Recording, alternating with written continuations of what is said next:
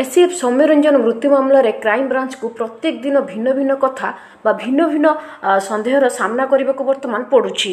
ନା ବର୍ତ୍ତମାନ ସବୁଠାରୁ ବଡ଼ କଥା ଆମେ କହିବା ଯେଉଁ କହିପାରିବା ଜବାନବନ୍ଦୀର ରେକର୍ଡ ଯେଉଁ ସୌମ୍ୟ ଜବାନବନ୍ଦୀ ମୃତ୍ୟୁକାଳୀନ ଜବାନବନ୍ଦୀ ଏ, ରେକର୍ଡ କରିଥିଲେ ତ ରେକର୍ଡକୁ ନେଇକି ବର୍ତ୍ତମାନ ବଡ଼ ପ୍ରଶ୍ନ କ୍ରାଇମବ୍ରାଞ୍ଚ ହାତରେ। ସବୁଠାରୁ ବଡ଼ କଥା ହେଲା କିଏ କରିଥିଲା ସୌମ୍ୟଙ୍କର ରେକର୍ଡ ବା ଜବାନବନ୍ଦୀ ରେକର୍ଡ କିଏ କରିଥିଲା? ଯାହା ବର୍ତ୍ତମାନ କ୍ରାଇମବ୍ରାଞ୍ଚର କହିବା କଥା ଡାକ୍ତର ଆଉ ତହସିଲଦାରଙ୍କ ଆଗରେ ହିଁ ହେଇଥିଲା ଯେଉଁ ସୌମ୍ୟଙ୍କର ମୃତ୍ୟୁ ସୌମ୍ୟଙ୍କର ମୃତ୍ୟୁକାଳୀନ ଜବାନବନ୍ଦୀ ରେକର୍ଡ। ପ୍ରଶ୍ନ ବର୍ତ୍ତମାନ ରେକର୍ଡିଂ ବର୍ତ୍ତମାନ କାହା ପାଖରେ? ଭିଡ଼ିଓଗ୍ରାଫି ରେକର୍ଡ ଯେଉଁ ହେଇଥିଲା ବର୍ତ୍ତମାନ କାହା ପାଖରେ? ସେଟା ରହିବା କଥା କାହା ପାଖରେ ଆଉ ଅଛି କାହା ପାଖରେ? ତାକୁ ନେଇ ବର୍ତ୍ତମାନ କ୍ରାଇମବ୍ରାଞ୍ଚ କରିଛି ବଡ଼ ଯାଞ୍ଚ। କାହିଁକିନା ବର୍ତ୍ତମାନ ତଦନ୍ତ ଘେରକୁ ଆସିପାରନ୍ତି ପୋଲିସ। ଯେଉଁ ପୋଲିସ ତଦନ୍ତ କରିଥିଲା ପ୍ରଥମରୁ ବା ବିଦ୍ୟାଙ୍କ ଘରକୁ ଯାଇଥିଲା ଯେଉଁ ପୋଲିସ ଆଇଆଇସି ଆଉ ଏସ୍ପି କଥା ଆମେ କହିପାରିବା ଯେଉଁ ପ୍ରଥମରୁ ହିଁ ଉଠିଥିଲା ଯାହାଙ୍କ ଉପରେ ଏସ୍ପିଙ୍କ ଉପରେ ଗଜପତି ଏସ୍ପିଙ୍କ ଉପରେ ଯେଉଁ ସନ୍ଦେହ ହୋଇଥିଲା ତାପରେ ବର୍ତ୍ତମାନ ଆସିଛନ୍ତି ଆଇଆଇସି।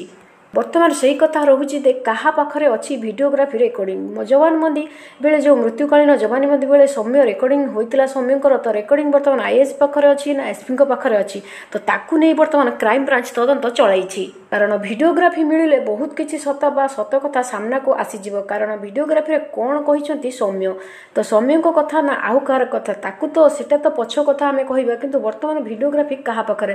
ତେଣୁ ବର୍ତ୍ତମାନ କ୍ରାଇମବ୍ରାଞ୍ଚ ତଦନ୍ତ ଘେରକୁ ଆସିପାରନ୍ତି। କ୍ରାଇମବ୍ରାଞ୍ଚର ତଦନ୍ତ ଘେରକୁ ବର୍ତ୍ତମାନ ଆସିପାରନ୍ତି ଏସ୍ପି ଆଉ ଆଇଆଇସି ତ କାହିଁକି ଆଜି ପର୍ଯ୍ୟନ୍ତ ଯେଉଁ ରହିଥିଲା ଜବାନବନ୍ଦୀ ରେକର୍ଡ ଏପର୍ଯ୍ୟନ୍ତ କାହା ହାତରେ ପଡ଼ିନାହିଁ ବା କାହିଁକି ଶୁଣାଯାଇ ନାହିଁ କ'ଣ କହିଛନ୍ତି ସୌମ୍ୟ? କିନ୍ତୁ ପ୍ରକୃତ କଥା ଯେ କୁହାଯାଉଛି ଜବାନବନ୍ଦୀ ରେକର୍ଡ କରାଯାଇଛି। ବଟ ପ୍ରକୃତ କଥା ଜବାନବନ୍ଦୀ ରେକର୍ଡ କାହିଁ କାହା ପାଖରେ? ତେଣୁ ବର୍ତ୍ତମାନ ସବୁଠାରୁ ଗୋଟିଏ ପଏଣ୍ଟ ବର୍ତ୍ତମାନ କ୍ରାଇମବ୍ରାଞ୍ଚ ଧରିଛି। ଆଉ ବର୍ତ୍ତମାନ ତଦନ୍ତ ଘେରକୁ ଆସିପାରନ୍ତି ଆଇଆଇସି କାହିଁକି ନା ପୋଲିସ କ'ଣ ପ୍ରମାଣ ନଷ୍ଟ କରିଦେଇଛି ନା ଭିଡ଼ିଓ ରେକର୍ଡିଂ ରଖିଛି? ନିଶ୍ଚିତ ଭାବରେ ଏ ଉପରେ ବଡ଼ ପ୍ରଶ୍ନ। ତ ଆପଣମାନଙ୍କୁ କ'ଣ ଲାଗିଛି?